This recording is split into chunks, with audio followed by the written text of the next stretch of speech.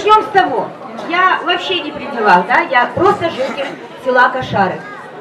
Нас всех собрали здесь, как стадо, промариновали час в зале, выгнали на площадку, а теперь это все незаконно. Кто должен отвечать за это? Кто должен за это ответить? Люди тратят свое время, старики, дети, работающие. Кто должен за это ответить? Украли у людей полдня, теперь это незаконно. Кто сказал?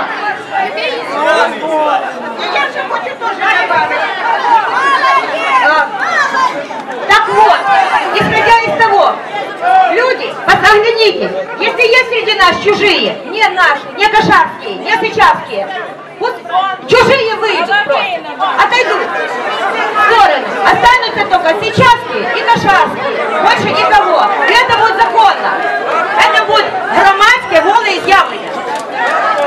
Є закони держави, і їх треба виконувати, а не Сичанська народна якась республіка без паспортів вирішила проголосувати.